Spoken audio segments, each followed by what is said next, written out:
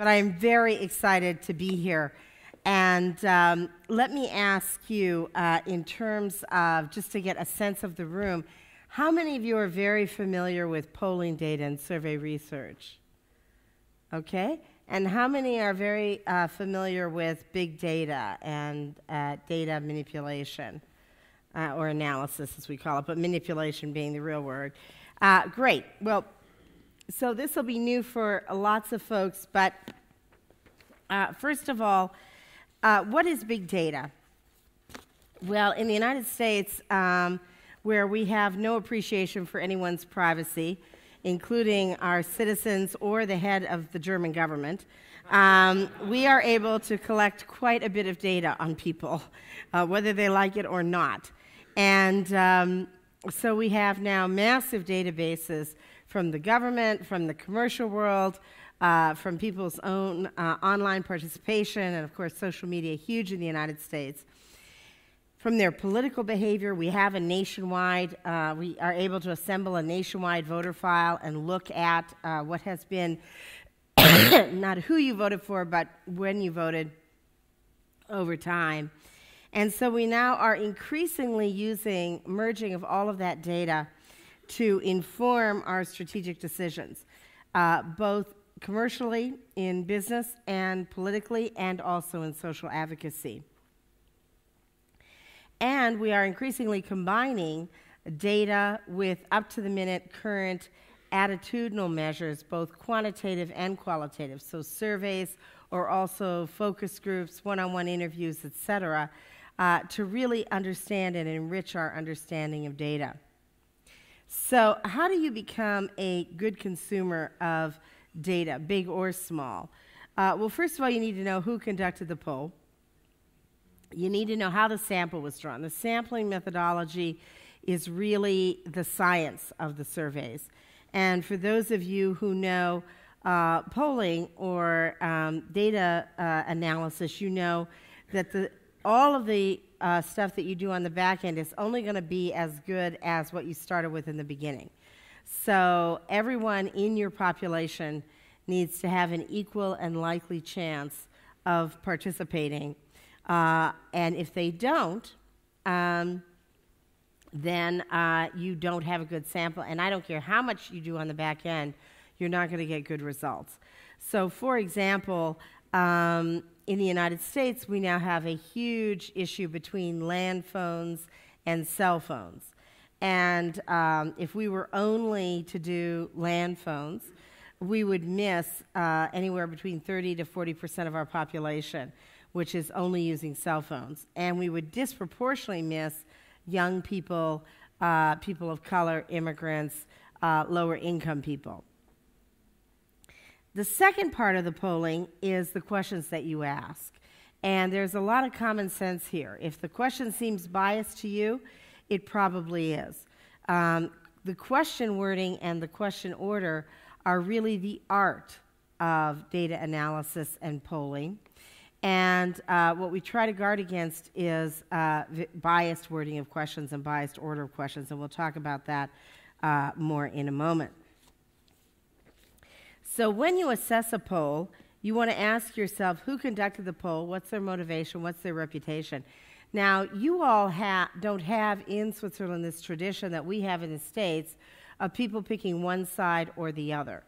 Um, and in the States, it's considered unethical actually to work for all parties. Uh, you have to pick one side or the other. Uh, but people often say, well, doesn't that make you biased? But think about it for a moment. Let's say I'm, I'm polling for Peter for president, and uh, you may well have asked yourself, have I lost my mind if I'm working for Peter for president? But let's just assume for a moment that I'm uh, working for Peter for president. And I tell Peter he's not going to win he may be mad at me that I can't figure out how to get him over the top, uh, but at least my polling is accurate. If I tell him he's going to win and he doesn't, I don't work again in my field. So even if even though you choose sides, uh, you have no incentive to be inaccurate. In fact, your incentive is completely to be accurate. You want to ask yourself, what's the sample uh, of who's being surveyed. Is it all adults? Is it all customers? Is it all voters? Is it the attentive public, that third of the public that pays more attention? Is it everyone on social media? Who's the relevant population that we're trying to talk to? Is it everybody who buys food or a particular kind of product? You want to ask yourself how many days was the poll in the field?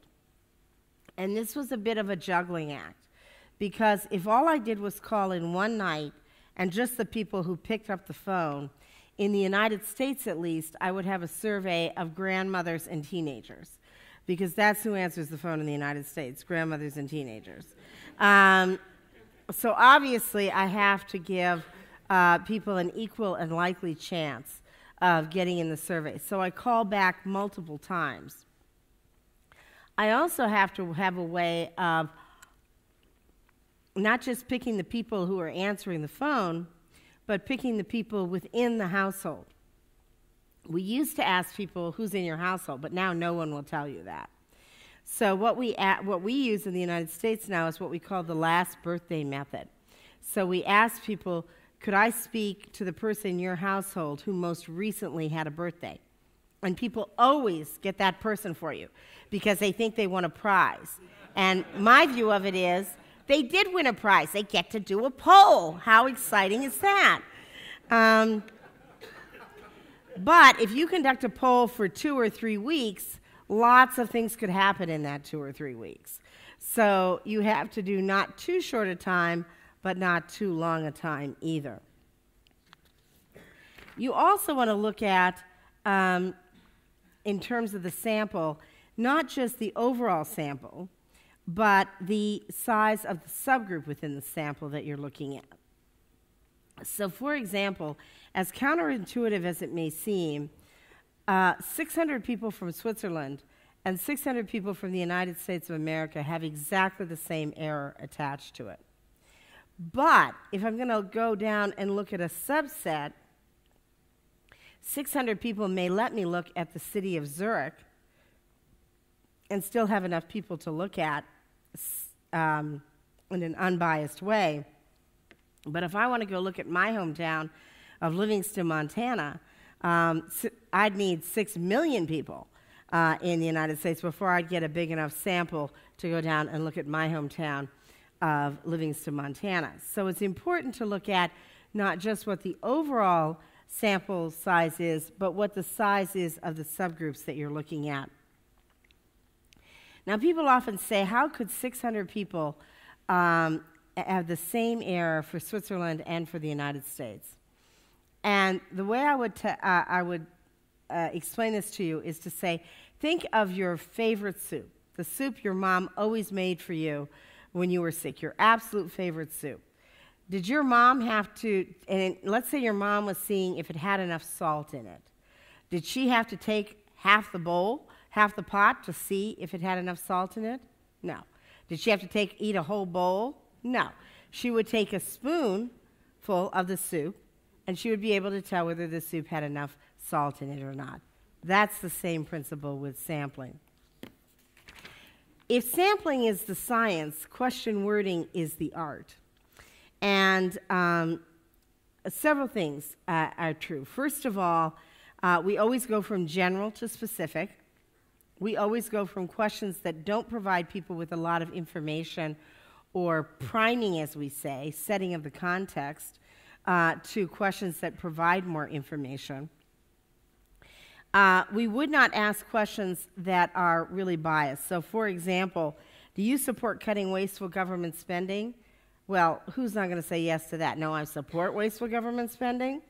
But do you support cutting spending uh, on education, that might be a very different uh, kind of question. Uh, did you vote in 2012? There's a lot of social bias to that. We're supposed to say we voted right, even though uh, turnout was uh, not that high, at least in the United States. So we would ask a question more like, did you vote in 2012? Or like many other people, were you unable to vote that year? So we're saying, listen, it's okay if you uh, didn't vote in 2012. Sometimes it's impossible to get honest answers. So when we ask people in the United States, were you willing to vote for an African American president? Everybody said, oh, yeah, I'm willing to vote for an African American president. But then we said to people, do you think your friends and neighbors are willing to vote for an African American president? And either people need new friends in the United States or they were a lot more honest because a third of the people said, No, I don't think my friends and family would vote for an African American president. I would, but they wouldn't. One of the most important things that we try to figure out in every campaign is who are our targets. And this is one of the things that is particularly important in campaigns is to figure out who's our base, who's our persuadable, and who's the other side's base. So our base are the people that are always with us. But increasingly, both commercially and in advocacy campaigns, we spend a lot of time communicating to our base. Why? Because they become brand advocates for us. So we're not trying to convince them uh, to spend more money uh, with us or to vote more for Obama. You can only vote once for him. But we're trying to convince them to take the word to their friends and family. And at least in the United States now, a third of people rely on friends and family for their political information, and 90% of people rely on friends and family for their commercial decisions. One of the things that's interesting about the base is that you often give them information to pass on uh, to other people. So uh, there's a very interesting marketing story that's told in our business. Of, do you guys have mayonnaise? You know what mayonnaise is. Yeah, of course you know what mayonnaise is. Of course, we have disgusting mayonnaise. You have good mayonnaise. Uh, but our disgust, uh, the worst of our disgusting mayonnaise is totally artificial mayonnaise called Miracle Whip. They don't even call it mayonnaise because it's not really mayonnaise, it's completely chemical. And um, 90% of Miracle Whip's marketing budget is devoted to what they presumably uh, categorize without irony as super heavy users. Now, Miracle Whip is very high in calories, so super heavy users is both a uh, demographic description as well as a behavioral description. And uh, one of the ways in which they really upped um, the use of Miracle Whip in the United States was they sent out a recipe to super heavy users of how to make chocolate cake with mayonnaise. Now, this is, of course, must be absolutely abhorrent to the Swiss heart and soul uh, because we weren't even using good chocolate and then we're combining it with mayonnaise. Uh, but uh, people said at first, uh, mayonnaise and chocolate cake, that's disgusting. I don't, I don't even like Miracle Whip. I don't want mayonnaise. But then when people made the cake and they tasted it, they said, wow, this is super moist. How'd you make this cake? And they said, wow, the secret ingredient is mayonnaise. Uh, now, you have to really love Miracle Whip to be promoting that to your friends and family. But it doubled the consumption of Miracle Whip uh, with super moist chocolate cake. Um, high calories, no value, uh, and terrible chocolate taste by Swiss standards. Nevertheless, in the American market, it worked extremely well. The second uh, audience that you look for are persuasion voters. Who are the people that aren't with you today that will become come over to you? Uh, and the people that you want to identify to ignore are the opposition. Now, maybe you want to alienate the opposition because you want to reveal them for who they really are. Uh, but you don't want to go target uh, with your product people who absolutely adore. Uh, you don't target for Microsoft products the people who absolutely adore Apple products. Um, these are just some do's and don'ts. Uh, and I think I'm going to skip over these, but you can look at them later. And let's move on to some real world examples of using data and using surveys and some of these principles in a real life situation. so, immigration. Obviously, a hot topic in the United States, very hot topic in Switzerland as well. And we were hired to figure out how to engage activists persuade Americans, and alienate the opposition. The opposition was having all too much power in this debate. So we wanted to alienate them, marginalize them. by getting them to say radical things that revealed them for who they really were. We did not want to co opt the opposition, we wanted to alienate and isolate the opposition. So the first thing we did was dial, which are getting moment to moment reactions to the message that was their best language high fences, wide gates. And you can see on the left hand side the dials of the people who are the persuadables, the shifters, and our base. The blue are our base. On the right hand side, you see the opposition, which is the red, and our advocates. Not our base, but our advocates, the people that we want to carry the message.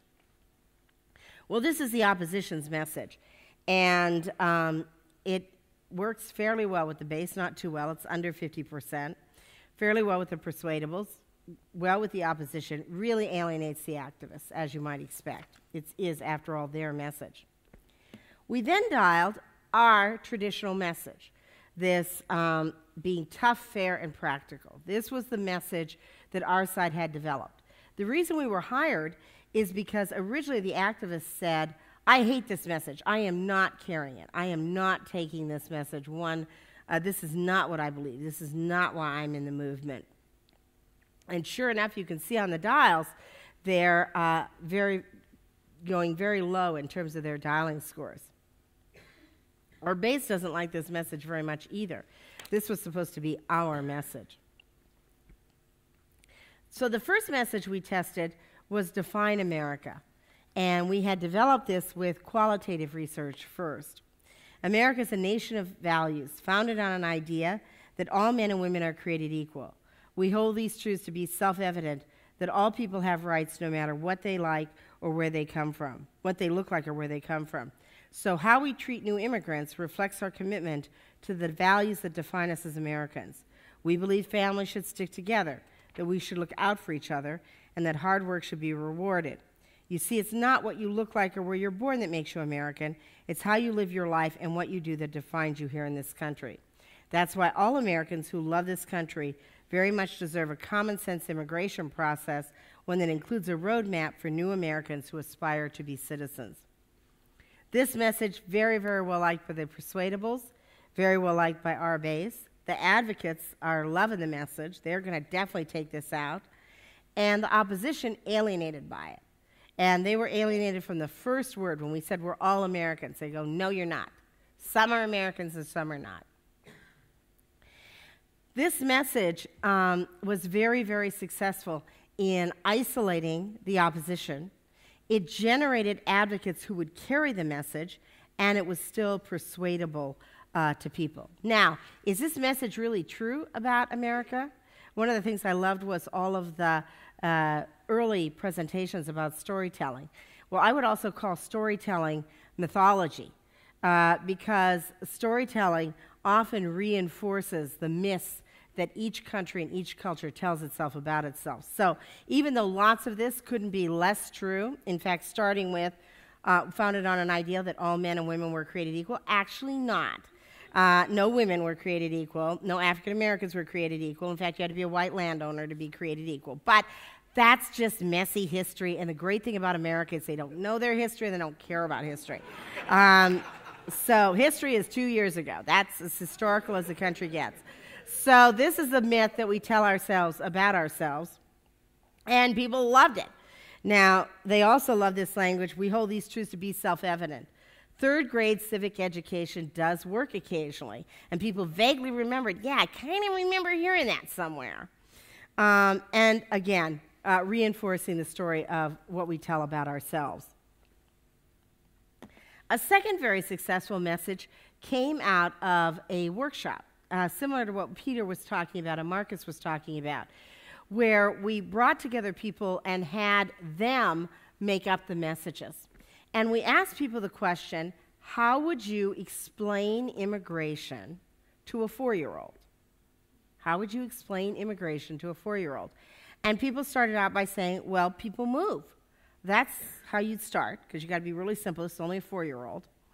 And this message came out of that. The same is true today as it's been throughout history. People move to make life better for themselves and their families. It's hard to move, to pack up everything and to go to a new place takes courage. But you do it in order to put food on the table, to provide for your family, and send your kids to a decent school. Immigrant Americans move here for the promise of freedom and opportunity in the country. People move in order to improve life. And we believe that moving to make a better life for your family is one of the best things and one of the hardest things a person can do. One of the values we hold dear to our hearts is a deeply rooted belief in the freedom to be who you want to be, say what you want to say, and go where you want to go. America is supposed to be the land of the free and the home of the brave. That's a good thing, so let's keep it that way. And of course, 73% of Americans do not live in the county in which they were born. So 73% of Americans don't live in the geographic unit that they were born in. It's a very, very, very, very mobile society. And so this message resonated, as you can see, strongly with the persuadables, the base, our advocates, and alienating the opposition. There are a couple of other messages here, uh, which I won't go into in detail in the interest of time, but we learned a lot in this process also about language. Words matter a lot, and the words that you use can influence the answers that you get. So we learned out of this research, for example, not to use the word undocumented workers. In fact, undocumented workers tested worse than illegal immigrants. The term undocumented workers tested even worse than illegal immigrants. What was the reason for this? Well, Americans said to themselves, God bless Americans, they're a very pragmatic lot. They said, even my 18 year old has an illegal ID to drink. Now, if they're undocumented, they must be terrorists because otherwise, why in the world wouldn't you get an illegal ID just like everybody else in America? Uh, so people thought undocumented had to be super dangerous, like super weird. Like, how could you do that? You would just go get an illegal ID like everybody else. Pathway to citizenship, roadmap to citizenship. One of the things that people in America for a long time believed is gosh darn it, why don't these immigrants just go to the post office and become a U.S. citizen? And they can mail a letter home at the same time. Well, if you're illegal, uh, if you come to America illegally, as you know, there is no process. There is no line to get in. There is no post office window to go up in and sign up. And so we needed to communicate to people that this process doesn't exist, that we don't have a roadmap, that we don't have uh, a, a, future. Uh, do jobs that no one wants, pay taxes. Um, that meant that if you didn't have a job, out immediately. Um, contribute, committed to our country, contribute to our culture. These are broad things that people show over time. The right in our country uses the language, the rule of law. Well, gosh darn it, it I don't care. Uh, if you broke the law, you can't, you can't come in here. Now, this is really highly ironic for Americans, right? Because we were settled by scallywags and draft dodgers and criminals from other countries and people who couldn't make it. So it's highly ironic that Americans are all of a sudden such believers in the rule of law. Uh, but we found that we could counter the rule of law with freedom freedom to be who you are, freedom to have your say. Freedom's the number one value uh, in American culture. And so we wanted to co opt that value for ourselves. Let me give you a second example of branding a specific organization, which may be akin to how you would brand a product or an advocacy group. So we work for Civil Legal Aid. Civil Legal Aid is the organization that provides uh, people who can't afford it with legal assistance in our courts. Now, most people have no idea what civil legal aid is. Now, Americans are notorious liars. So, 65% of Americans say they go to church every Sunday. I have no idea what church they're in, uh, but that is one hell of a congregation under the radar screen. 45% of Americans say that they give to an environmental organization. Whoever is holding on to that list ought to share it, et cetera, et cetera. So Americans are notorious liars. Uh, people couldn't even lie about civil legal aid. Uh, over a third of Americans said, I have no idea what you're talking about. I can't even make it up. I don't know what you're talking about. Um, so that was the beginning of our message strategy.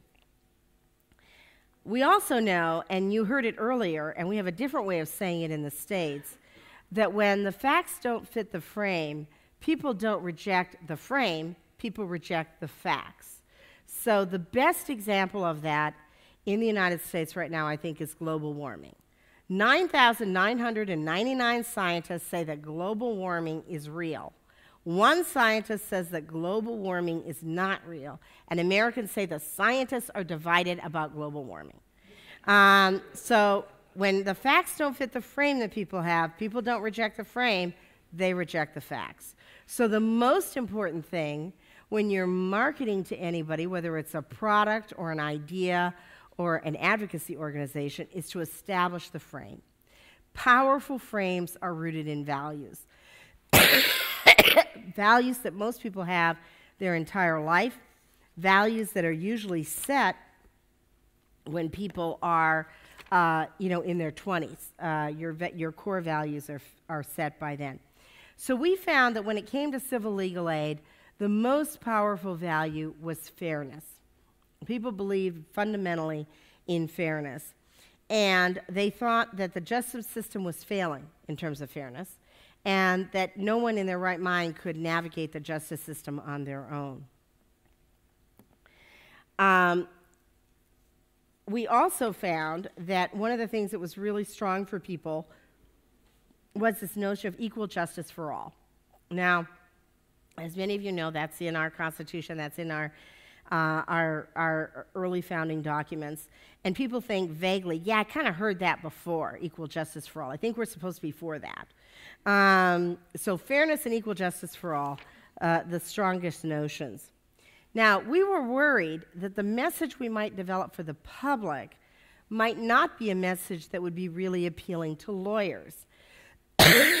and lawyers are the single biggest funders of civil legal aid. So we couldn't afford to alienate our donors while we were trying to persuade the public to be on our side.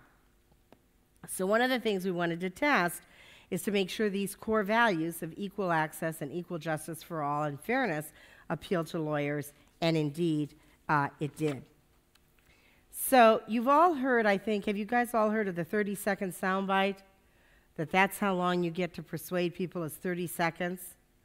Well, in the United States, the 30 second soundbite is now nine seconds.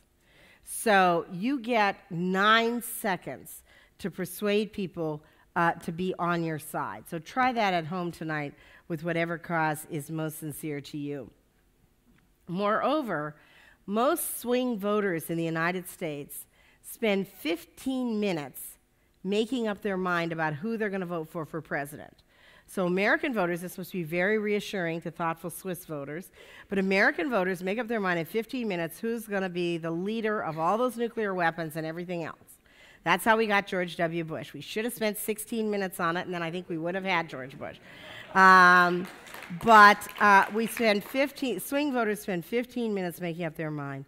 So you've got a nine second soundbite. So we had to figure out what are we going to say in nine seconds to define ourselves.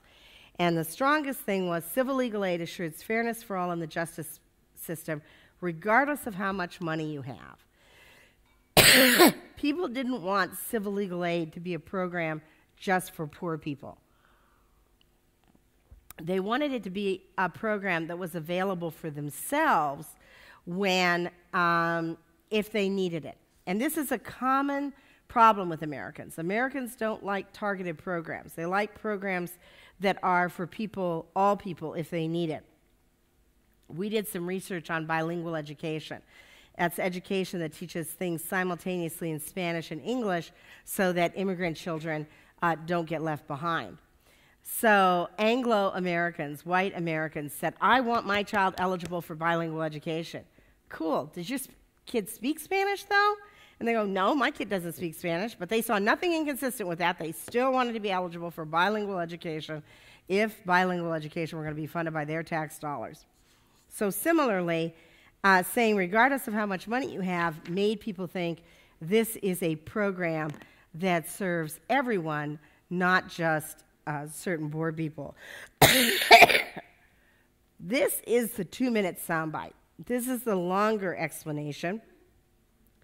And it provides a description of what are the programs that are provided in civil legal aid. So we have two ways. me, of expanding explanations usually. One is to get into specifics of the program, the other is to get into specifics of who the program helps. There was a time when we always um, put a tragic face on every single cause. Well, Americans got kind of sick of all those tragic cases. And now, usually, instead of fixing the system, they try to fix the people.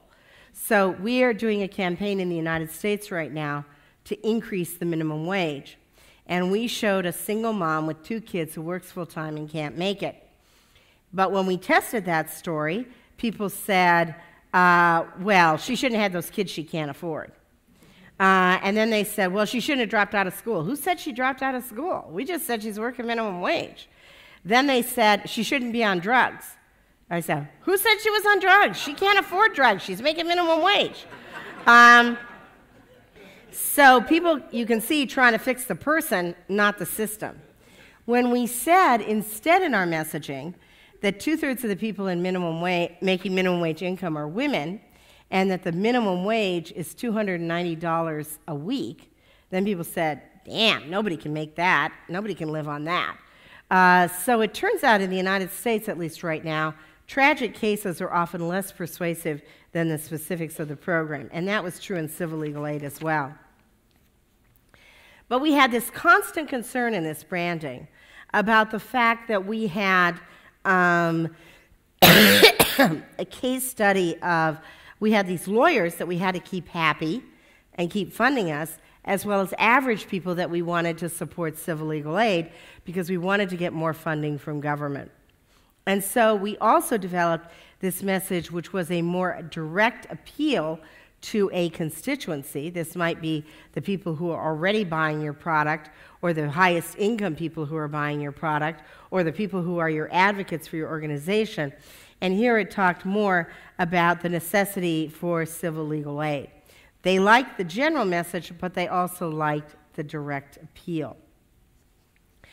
Um, the last thing I want to show you is just um, so this is all polling. This is actually small data. What do we do to match this to big data? So, what we are doing increasingly in the United States is matching small data, the polls that we're doing, uh, to analysis of big data. Uh, the the uh, behavior over time, the information that we have about people's consumer behavior, the information that we have about their political behavior, the information that we have uh, about their advocacy behavior. And many, as I understand it, having spent a little time here now, we have access to many, many, many lists that you guys do not have. So, one of the things we had access to is, uh, for example, um, we did a campaign for marriage equality, gay marriage, in Maine.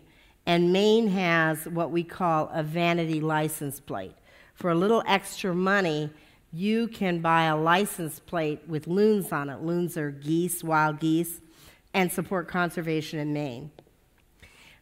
Well, obviously, that's a great way to identify a group of environmentalists. Anybody who's going to spend a little extra money for loons on their plate is probably an environmentalist. But we found out that buying a loon license plate was also one of the highest correlations with being for marriage equality. Um, because environmentalists in general more educated, people who are spending a little extra money for their license plate usually have a little bit more money, and that's upscale. The people who like the vanity license plate were younger, so lots of reasons. We found that out by taking the survey data and matching it with everything we had available on the people of Maine their commercial behavior, their political behavior, uh, their advocacy behavior. And then we looked at who were our supporters and who were the swing and uh, what correlated or what was associated with that. Similarly, we did the same thing in the US Senate races and in the Obama race, doing massive surveys and then looking at what are uh, the correlates of behavior. And what you see here, we were able to divide people based on their other behavior into five quintiles. five different subgroups. And you can see here the survey results are the dark orange, the light orange is the Democratic candidate model. And what we're showing here is that it's pretty darn accurate, that the people that have the highest fifth of scores are the people that indeed are the most supportive of our candidate according to the model. And the people that have the lowest scores are the least supportive of the candidate. You still have to have survey data to do the modeling, but it means I only have to interview a couple thousand people instead of 250 million people to figure out where everybody is on this uh, kind of dimension. Let me move away uh, forward now, and you can get all of these slides to key takeaways. So, the first thing um, in terms of big data, small data, quantitative data, qualitative data, is you have to know what you want to find out. And that's where the kind of uh, thinking and workshops that Peter and Marcus and others talked about are so important. Your, there's no quick way uh, to do big data analysis. Your uh, analysis is only going to be as good as the time you invest on the early end in figuring out what you want to ask, how you want to ask it in an unbiased and balanced way, how you, who you want to ask it of, what is the correct population, and what can I do to assemble the best list possible to reach that population so that everybody in that population has an equal and likely chance of getting in the survey. Then uh, you conduct your survey, you conduct your modeling, and you look at the back end. And there are two other questions that you ask yourself. One is, does this make sense? Um, apply the common sense test. If um, you really uh, thought that um, you were winning uh, a campaign, uh, if, if, you had research that told you everybody in America wanted to buy your product and you're not Tide uh, detergent, uh, then you probably got a faulty sample. Something's wrong with that research. Similarly, if you had research that said everybody in America hated Barack Obama, well, there are a lot of people in America who hated Barack Obama, but not everybody. Uh, so again, you probably got a faulty sample and you want to go back and check where did things fall wrong. Your research is accurate uh, only 95 times out of 100. So five times you're going to get the wrong results and you want to go back and check that. It's also only absolutely accurate for the moment that you took that survey. That's what keeps people like me in business because what do you need to do? More research. Um, when do you need to do it? Often. Um, so thank you so much. Uh, and again, I apologize for this horrible cold, and I look forward to taking your questions and comments.